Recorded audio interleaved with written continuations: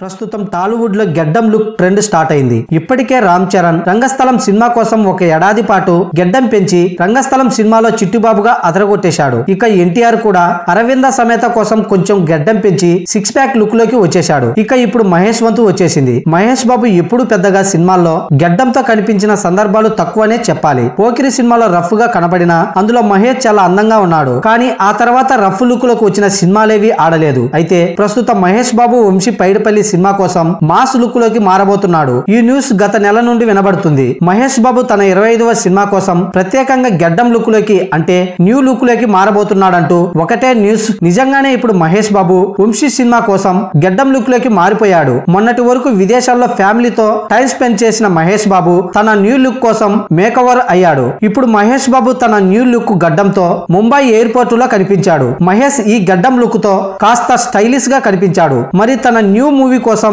మహేష్ టోటల్గా తన లుక్ మార్చేశాడు. ఇక మహేష్ బాబు తన ఇరవై ఐదవ సినిమా సెర్స్ మీదకి వెళ్ళడమే తరువాయి. ఇక మరో వారం రోజుల్లోనే వంశీ పైడిపల్లితో సినిమా పట్టాలెక్కనుంది ఇక మహేష్తో మొదటిసారిగా జోడి కడుతుంది పూజ హెగ్డే. ఇక ఈ సినిమాకి సంగీతం దేవిశ్రీ ప్రసాద్ అందిస్తుండగా ఈ సినిమాకి రాజసం అనే టైటిల్ ప్రచారంలోకి వచ్చింది. ఇకపోతే ఈ సినిమాని భారీ బడ్జెట్తో దిల్ రాజు అశ్విని దత్తులు నిర్మిస్తున్నారు.